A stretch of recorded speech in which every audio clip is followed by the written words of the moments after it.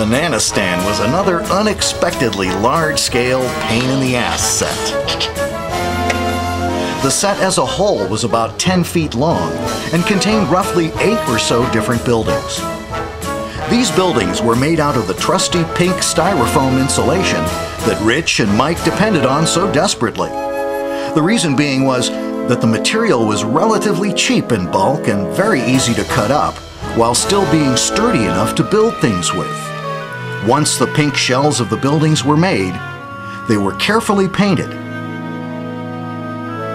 Since the set was so large and wouldn't fit on the wooden rig, wide shots had to be shot on the actual floor of the basement. When those were complete, parts of the set were removed and placed on the rig for filming close-ups where puppeteering through the floor was necessary.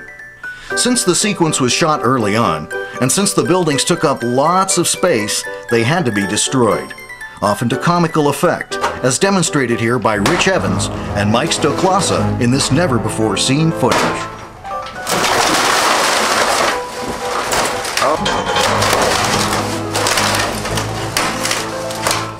I'm just gonna place this chair next to it. I'm sit down and think about it. Okay, okay. Oh no! Let me use the building to help myself up.